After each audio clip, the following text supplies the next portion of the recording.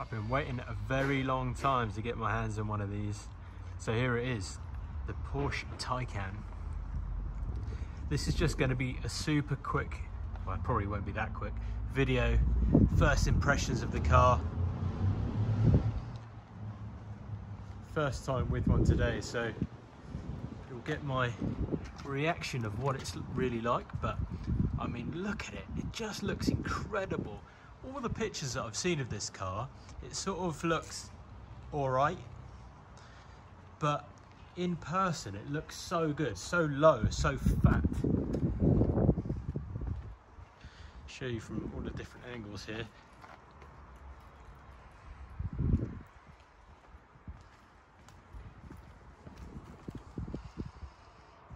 Look at that.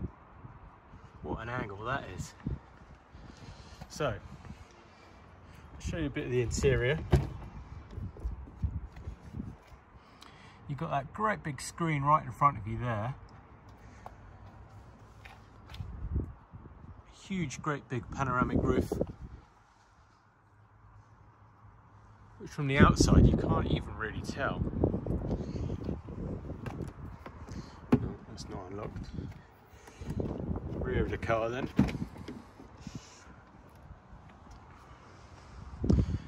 Believe this trim is the um, the vegan the vegan interior. Bose sound system as with most Porsche products. Rear screen there as well for the rear seat passengers to control their uh, heated seat and climate control. And there's a little view up front as well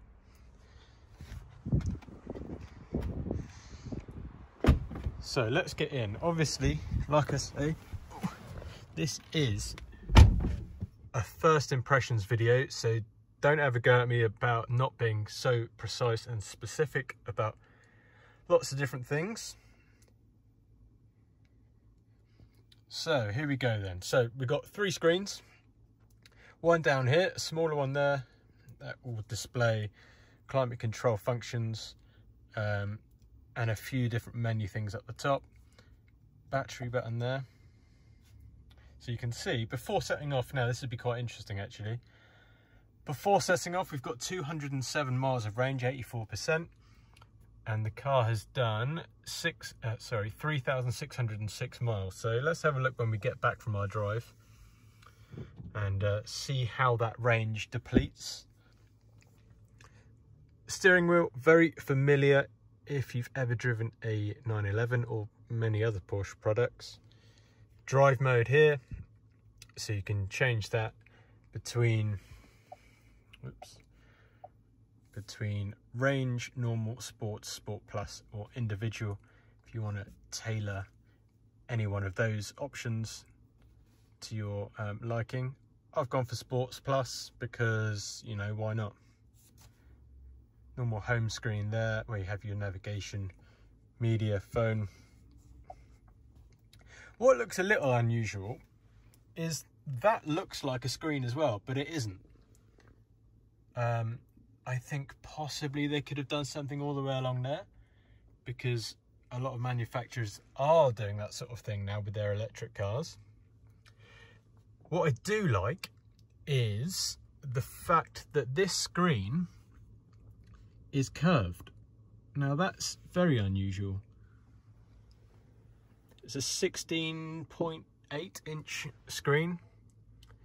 Um, also, it's a touchscreen because you can press these buttons here. That raises or lowers the car. It's raising up now.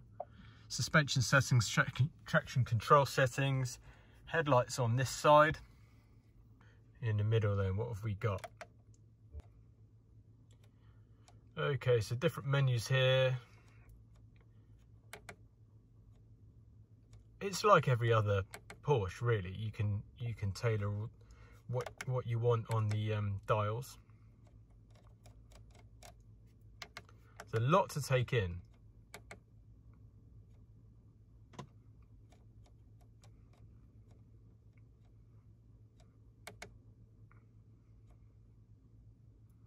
Okay, right. Let's um, let's stop looking around the cabin Uh, I will attach the GoPro to the windscreen and let's go for a little drive, shall we?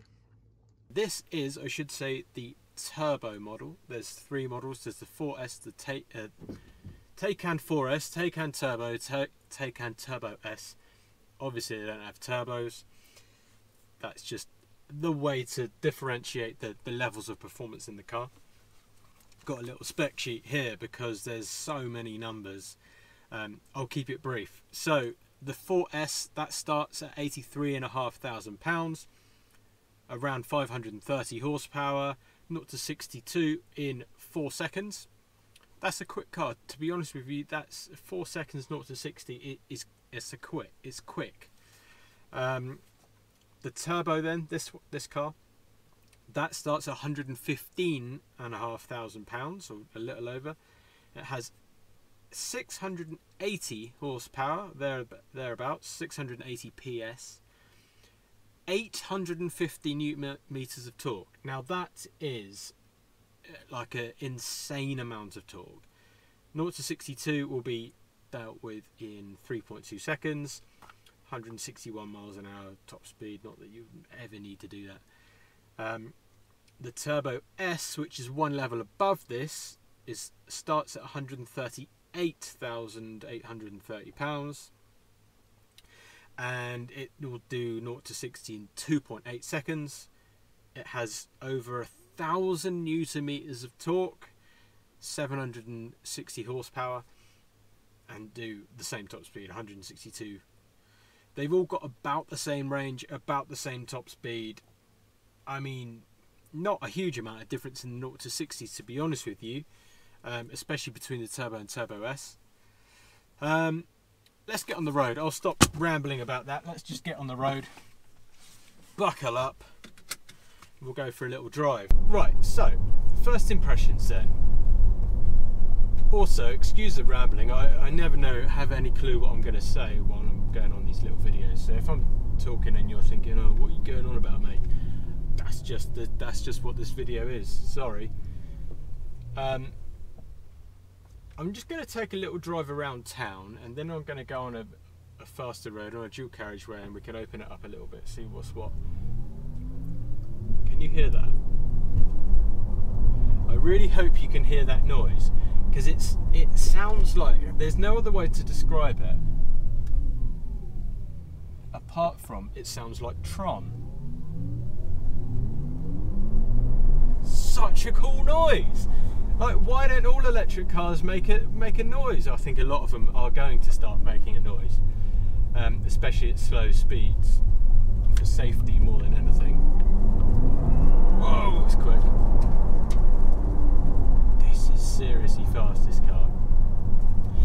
Just starting to rain, and it's it's strange because apart from that noise, which you can turn off by the way, you can turn off that atmospheric noise. Um, where am I going? Go down here. You can turn off that noise. So apart from that, all I can hear is the rain hitting the windscreen It's so quiet, it's so refined. Build quality, I mean it's it's a Porsche. It's they build cars better than anyone else in terms of quality, fit and finish, ergonomics, just everything. The tactile stuff, the, the materials that you touch are exactly what you would expect from a Porsche or a Porsche if you're being a Porsche enthusiast and saying it properly. The Alcantara steering wheel, although I don't know if it is Alcantara because I think this is a vegan interior, the, the leatherish material and the suede-ish material feel great. Um, the the screens work brilliantly. You almost don't actually have to touch it. To you can just hover your finger there. You can barely touch it and it and it goes to the next screen. It's so quick, so um, so quick. Yeah, it's so quick. It just work. It just works so well. It's so cool. I love this car. So just pottering around town then, and it feels a very, very, very comfortable car, even in Sports Plus. Do you know what? I'm going to put it in normal, just so we can feel what it's like in comfort mode. And it's, I mean, listen, it's so refined. It feels like a Porsche. It, feel, it actually feels like a Porsche to drive, which, unless you have had spent a lot of time with one, you probably don't know what I mean but if you have, then you'll know exactly what I mean. It's got that directness to the steering. It feels planted. It, it just, the cabin is cocooned around you. It feels like a proper Porsche. But with extra poke, that torque is instant. As soon as you go, uh, you know, I've tickled the throttle this whole drive, and it just goes, boom, you're off. Um, in fact, just as I set, stop at the set of lights, I can tell you a stat here which impressed me, right? 49 miles an hour to 74 miles an hour, overtaking the speed on a motorway, essentially. 1.9 seconds. You can overtake anything like that. That's that's just nuts. Whereas an internal combustion engine, obviously, you've got to kick down the gears, the turbos have got to spool up, the torque's got to get um, ride the wave of torque, and then you're at peak power, and then you shoot off. Now there's a lot of performance cars that do that very very well, but with an electric car, the, it's instant. There's no waiting for a gearbox. There's no waiting for turbos. There's no waiting for anything. It's just foot down, bosh, away you go. I love it. Like obviously, I'm working there. I'm a petrol head. I love noises. I love the sound of an engine. You know, a V8, a flat six, a V12. But this has got such a unique sound to it. I really like this as well. Okay, here's a little, I mean, a little dash, just a tiny little dash because there's a speed camera There. 30 to 40. Ready? 3, 2, 1. Whoa! Jesus! Oh my god! oh my god! By the way, that was more than that was more than the speed I meant to go to. Uh, that is nuts! That is nuts! And it's wet. How did it?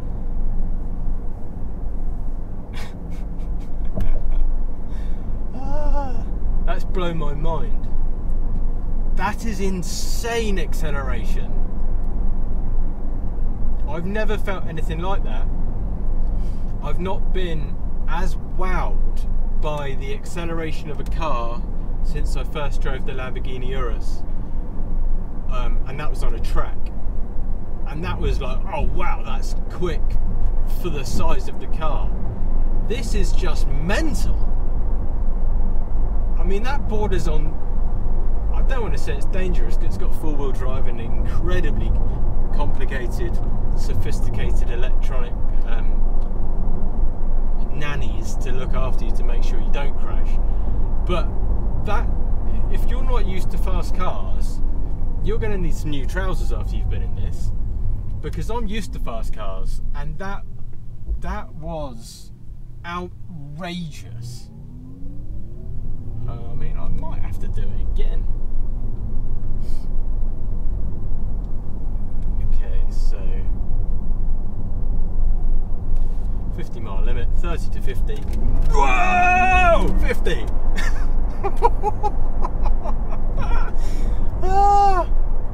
that's that's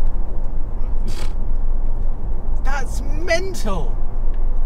That is mental. Oh, man, Like I felt the blood go from the front of my head to the back of my head. It's like falling off a cliff. It's like being on a roller coaster. That's absolutely insane. So, let's settle down then and let's have a little cruise. We're going to go, let's go to, I know there's a, a charger in Tesco's car park, right? So, it's only a three kilowatt charger I'll explain a little bit about that there. So don't expect us to gain any real range of mileage at the time that we're there. But I'll see you there in a sec. Okay, right, we've arrived at Tesco and there is a charger. It's actually a seven kilowatt charger, which is uh, the same as what you would have if you had a home charger on your house. It would be seven kilowatts. Um, right, so as we can see down here, I now have 199 miles of range. I've done, how many miles is that? I did about six miles, I think. And it's dropped by that much. I can't remember what it is. I'll put it on the screen because I can't remember but that's how much it's used. And let's be honest, majority of that trip, I was nailing it. So while I look for where the charging cable is, you might as well come with me and uh, have a look at the uh, boot space, the bonnet space. There it is, there's the charger in there. I'll get that out in just a sec. I'll just show you the um, the boot space as well because that is important to people who buy this sort of big car. There you go. Um, I was expecting it to lift up from the glass and be like a hatchback, but nope. More charging gubbins down there. So let me find out which cable I actually need to plug into this and we'll do that. Right, here we go then. Got this cable out the boot, cable's there. Plug that in and then it should be as simple as plugging that in. I don't know what that button does, but it's now glowing. So that probably means it's charging. Let's go and have a look in the car. Let's see what's going on. Okay, right, so we have a new screen. So, um, what is this telling us then? Oh, look at that little graphic. Like liquid going into the battery. It's now gone on to 210 miles instantly. And we are charging at, now this is the problem with what on earth is the matter with you, GoPro? Um, this is the problem with the free chargers that you get at Tesco's and things like that. It says up there, well, you can't see because it's focusing on the raindrops. It says up there, seven kilowatt hours. That is monumentally slow, which means it will give you 0.2 miles of range per minute. Now, I mean, that is pointless. I think they've just put these here as a token to say, look, we're eco-friendly or something like that. Or maybe you have to hit targets of some rubbish, I don't know. But 7 kilowatts is not fast enough. It has to be 50. Now, let me talk to you about um, different charging things. I'll switch to the other camera. Hang on. So this can charge up to 270 kilowatts, right? That means if you can find, and it's a big if in the UK at the moment, if you can find a 270 kilowatt charger, bearing in mind this one I'm using is a 7 kilowatt charger, it will take 5 minutes to add 60 miles of range to this car. Now that's good because how often do you drive more than 60 miles in a day? really, unless you're doing a long commute, if you're just zipping about town, that's probably all you need to do. And it takes five minutes if you have one of those chargers. Or you're much more likely to find a 50 kilowatt charger in the UK. There's loads of them dotted around all over the place.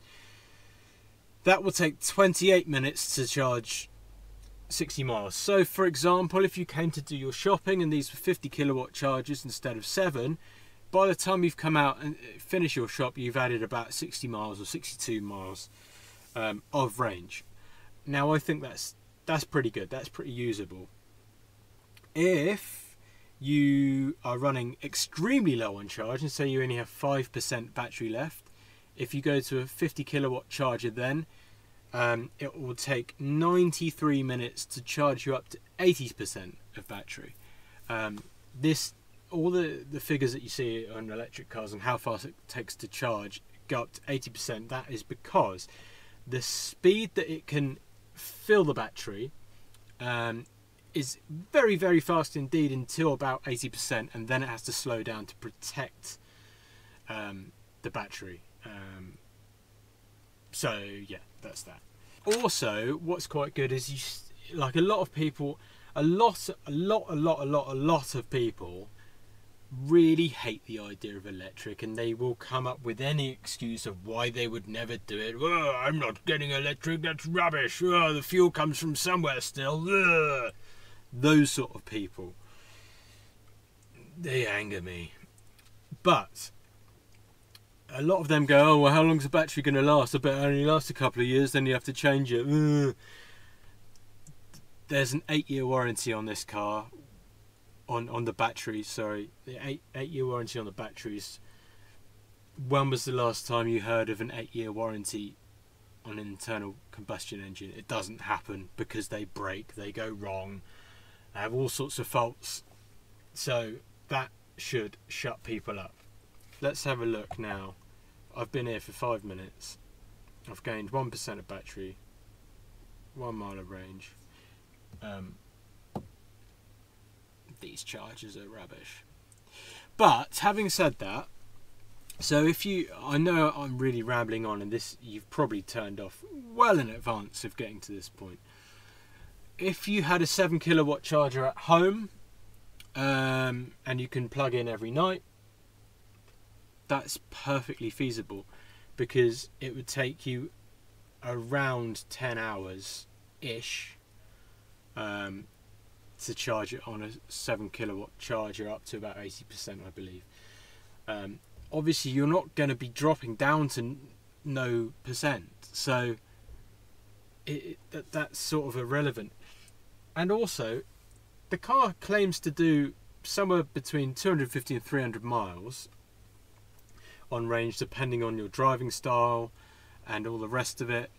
Um, there's a man staring at me. This is the thing when when you drive an electric car people come and stare at you because they go oh what's that? I don't know what that is but i'll just i won't ask him about it. I'll just go and stare at it but not ask. Anyway i got sidetracked there what the hell was I talking about? So ask yourself this, right? So how many miles do you do a day? Genuinely. I know I do about four. like realistically. If I'm going somewhere after work, if I'm going to the gym or if I'm going food shopping or whatever, I might do 10 miles in a day, 15 at a push.